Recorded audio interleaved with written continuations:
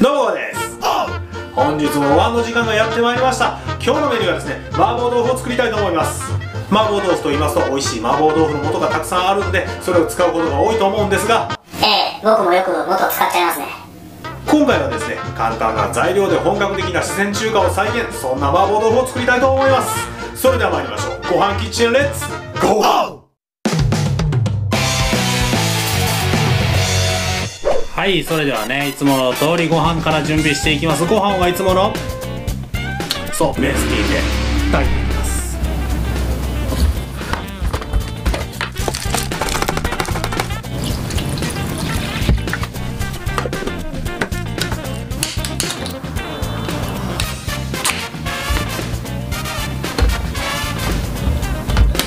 はいそれではね今回使う材料なんですけれどもまずね豆腐豚のひき肉、ね、次ねネギ。ネギが各種生姜。にんにく唐辛子。鷹の爪ね。ラー油。それと甜麺醤に豆板醤。それとこれがウェイパー。で、えー、片栗粉。これはね水溶き片栗粉にします。あとはねこれを混ぜて焼いていくだけなんですけどもちょっと量が多いんでね、えー、書いときますね。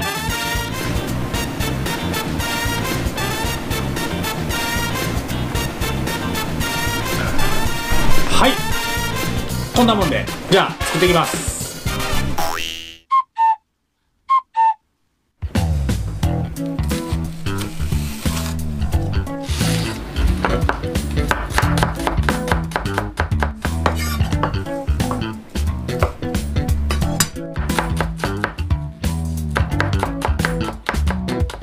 はねこうやってみじん切りにしておいときます。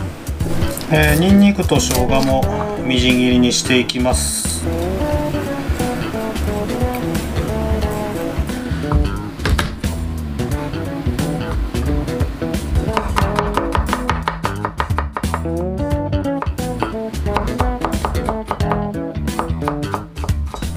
はい。こんな感じね、えー、それではねていきます。また忘れてたけどごま油。ごま油ね、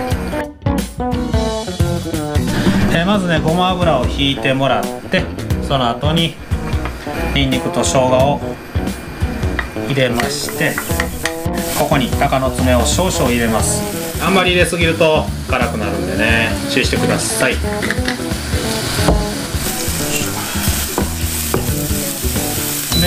弱火で香りが出るまで炒めていきます。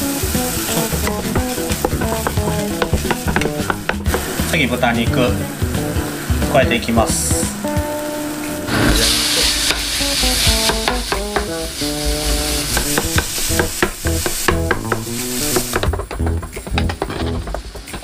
豚肉全体にね火が通ったら調味料を加えていきます。えー、まず甜麺醤かなこれ。甜麺醤かな。甜麺醤大さじ1で、えー、豆板醤。大さじ2こっちこっちが豆板醤。でオイスターソース大さじ1これをまた炒めていきます。えー、全体にね絡んだらお豆腐入れていきます。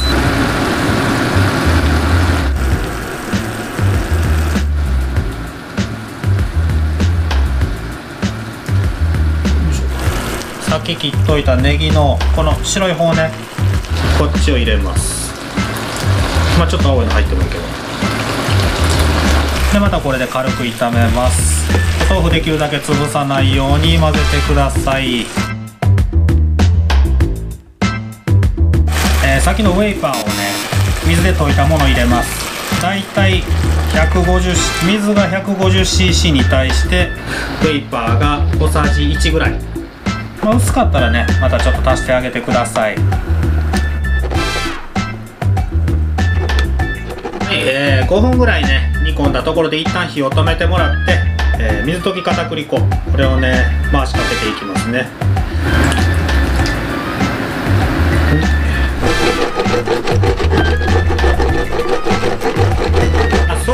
盛り付けていきましょう。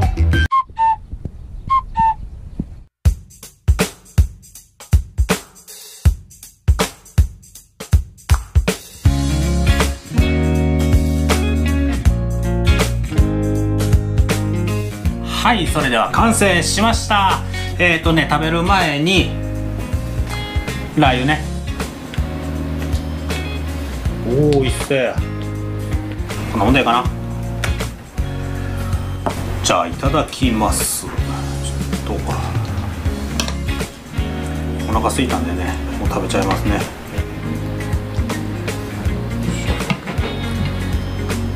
それと近くでねこれ見つけてきたんですよ。見えるかな？じゃんじゃん。えっとねフォアジュ。じゃあフォアジュオ油これをねちょっとかけて。ただきます。いただきます。うん。うん。あ辛。あ辛。美味しいけど。ピリ辛でめっちゃ美味しい。作る時にも言うたんですけれども辛いの好きな人辛いの苦手な人は鷹の爪の量で調整してください。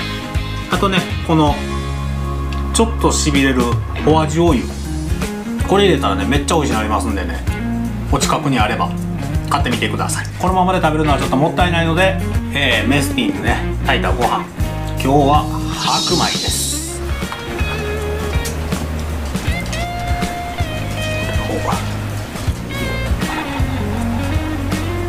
はい。いただきます。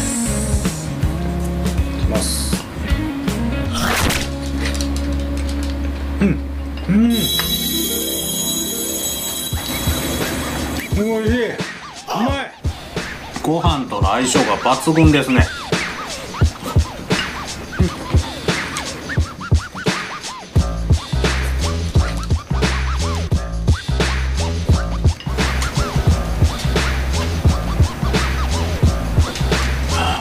はい本日はですね四川風の麻婆豆腐のご紹介でした。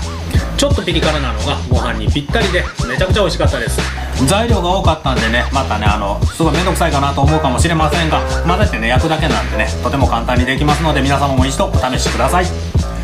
はいこの料理美味しそうだったら高評価またチャンネル登録下のね赤いボタンを押していただけるとありがたいです。よろしくお願いいたします。それではまた次の料理か Vlog キャンプ動画でお会いいたしましょう。GO さんゴムビー GO でした。グッ